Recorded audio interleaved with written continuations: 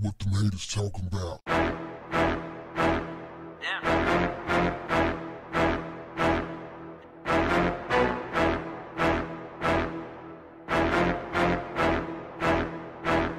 What's up, family?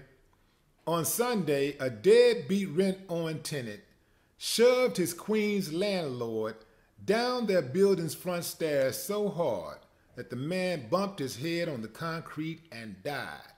And you guessed it, fam. It was all captured on camera. Landlord Edgar Mosquera, 71, was trying to collect rent around 3 p.m. at his 102nd Street building in Corona when 22 year old tenant Alex Garces allegedly pushed him down the stairs, cops said. The man was pronounced dead on Monday after being on life support. Check this out, fam. Initially, Alex, the tenant, told authorities that it was all an accident caused when he was trying to move his mattress out of the apartment and the mattress struck the door, causing Edgar to fall down the stairs to his death. But the family checked the ring camera that they had attached to the door, and it told an entirely different story.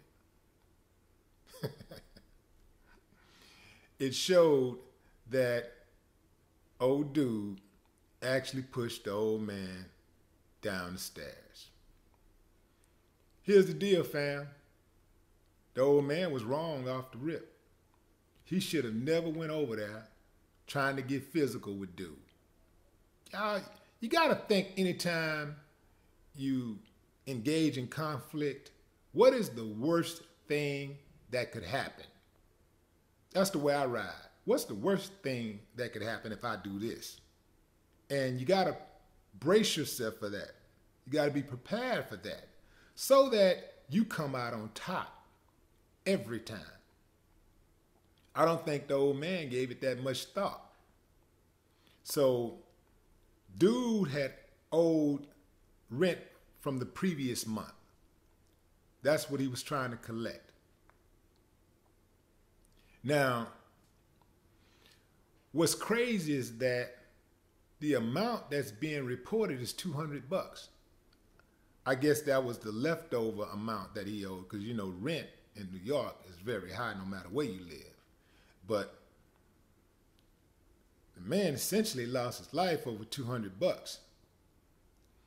Dude who caused him to die, who, who pushed him, I think it's going to be a pretty quick trial. If he takes it to trial, it's going to be a very quick trial. He's been charged with manslaughter. So if he knows what's good for him, he probably should plead because there's no way possible he's gonna get around that. And people don't like people that try to get over anyway. So uh, he's gonna have trouble trying to fight that. Yeah, he should have just let that ride. The trial ain't gonna last long at all. I'm sure. I'm sure that the tenant told the landlord that he didn't have the money. So my thing is like, what what's the landlord really gonna do? He's just gonna go in there and bogart his way into the man house and uh, you know dig into the drawers and find the money. You know, start snatching his uh, property and taking him to the pawn shop. What was he going to do? That's crazy. Everybody ain't built to be a landlord. I'm one of those people who ain't built for that. I used to have properties that I used to rent, and I got out of the whole renting business. I got out of the rental business because I couldn't take it. People playing games with me, sending me checks unsigned. You know, I got my guy over there trying to collect the rent. They peeping out the, the peephole won't open the door, talking about they on their way back and they'll meet them at this time. They never show up and all this stuff. I was like, man, look. So I sold my properties. I was like, I got to get out of this game because you can't play with my money like that. Like, and because I ain't waiting on no damn 30 days or 60 days to get my money. Like, you ain't just finna be laying up in my crib for free. And I'm waiting on court orders and all. Nah, man, I can't do that. I couldn't do it. That was one instance that I had to send. Yeah, I'm good. I'm checking out that statute of limitations. I'm good on that. But yeah, I had to send them boys over there to, you know, remove some people. Like, hey, y'all got to tomorrow. Y'all got 24 hours uh, to get your stuff and get up out of here. I don't care where you go, but you're not laying up in here for free. Because I gotta pay taxes on this property and and I gotta pay maintenance and all this type of stuff. And you know, I'm I'm a good landlord, so if anytime they had an issue with you know something breaking down, whatever, I send my guy through there, it's fixed the next day. I mean like that. We get it done. And so I expect the same amount of respect and consideration. And everybody ain't built like that. Some people really just are professional squatters. You know, they basically just, you know, get in in your spot and then just lay up with no intention at all of paying the rent. So, yeah, I couldn't do it. So I'm one of those people who are not built to be a landlord. I say you can take it to court or take it take the law into your own hands. Either way, you better be prepared for the consequences. You know, I was one of those ones. I took the law into my own hands, and you know, things could have came out a whole lot differently. I mean, you know, anytime you take the law into your own hand, your own hands, that's a gamble. It's a big gamble, but you know, I just couldn't do it.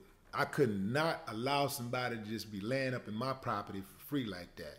When I got to pay, you got to pay. So I'm not built to be a landlord. Fam, I brought you this video just in case you're a renter or you're a landlord and just to give you use this video as a cautionary tale. If you are a landlord and you got a dispute with your tenant,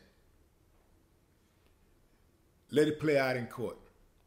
You know, to try to get them out of there, and then, you know, if you got to try to sue them or whatever, you know, for, for back pay, whatever, you know, do whatever you got to do for back rent, do whatever you got to do, but don't don't put your life in jeopardy. Don't do that, and don't put anybody else's life in jeopardy because you don't know what somebody else is going to do. You know what you're going to do, but you don't know what the next person is going to do. Like that landlord knew what he was going to do he knew he was going to go over there and confront dude. And he knew that he was going to try to force his way into the house. But he didn't know that dude was going to push him down those stairs and that he was going to crack his skull and die. That he didn't prepare for. So you have to think if I do this, what is the worst case scenario? And that's anything in life. Anytime you're thinking about conflict, always think if I do this, what is the worst thing that could happen? You know, protect yourself at all times. The irony here is that the deadbeat tenant will now be living rent free in prison on your dime. No more talk. What, what the haters talking about? Yeah.